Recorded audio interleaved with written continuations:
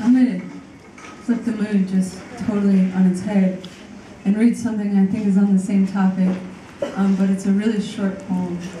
I got invited to perform at a Catholic university, and um, when I got the invitation uh, to perform there, there was a clause on the contract that said um, Andrea will agree to say nothing during the performance that disagrees with the beliefs of the Catholic Church.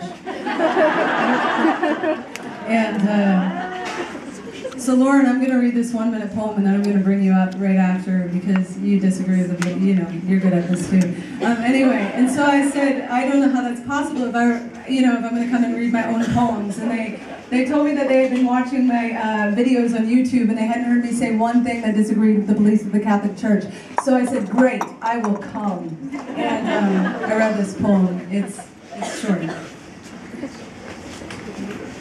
Every month, when I get my period, I breathe a sigh of relief and thank God I'm not pregnant. Because you never know when Jesus is coming back and you never know who God's going to choose to be the next Virgin Mary. And can you imagine anything more scary than staring down between your legs and seeing the little glowing head of baby Jesus? Holy shit, no thank you.